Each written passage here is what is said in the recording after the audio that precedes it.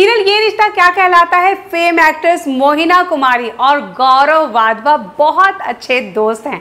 दोनों अक्सर साथ में सोशल मीडिया पर लाइव भी आते हैं। काफ़ी पहले दिनों पहले आपने देखा भी होगा। अब एक इंटरव्यू में एक्टर ने अपने पुराने दिनों को याद करते हुए बहुत सारी खास बातें बताई एक दूसरे की दोस्ती के नाम पर।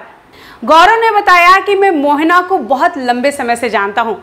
मैंने इनके डांस को फॉलो किया। मैंने इनका झलक दिखला जा भी देखा था। मुझे कभी नहीं लगा था कि आगे चलकर हम कभी साथ में काम करेंगे।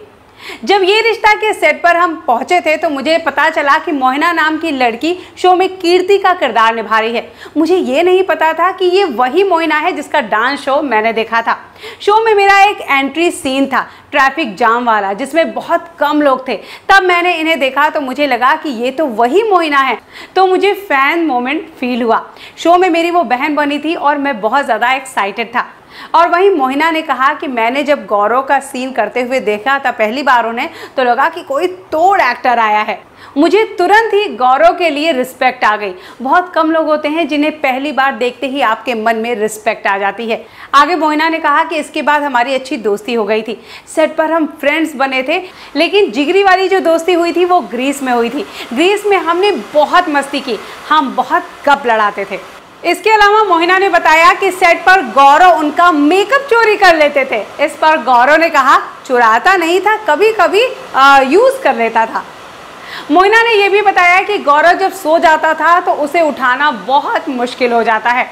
उसको कॉल पर कॉल करते रहो, पर वो कभी नहीं उठाएगा। इस पर गौरव ने कहा कि जब भी सो, सोता हूँ तो मैं फ़ोन साइलेंट पे कर देता हूँ। हम आपको बता दें कि मोहिना, ये रिश्ता क्या कहलाता है? मैं कीर्ति और गौरव शुभम के किरदार में नज़र आए थे। दोनों भाई बहन थे। रियल लाइफ में दोनों एक दूसरे के बहुत अच्छे दोस्त हैं। आपको वो बात याद ही होगी, जब मोहिना को कोरोना पॉजिटिव निकली थी, उनकी पूरी फैमिली कोरोना पॉजिटिव थी हॉस्पिटल में थे और जिस दिन वो ठीक हुई थी, उन्होंने ये बात अपने सोशल मीडिया पर डाली। उसी दिन गौरव और उनका चैट सबसे ज़्यादा वायरल हुआ था। उनकी मस्ती, उनकी बातें, ऐसा लगता था कि शायद इसी को दोस्ती कहते हैं।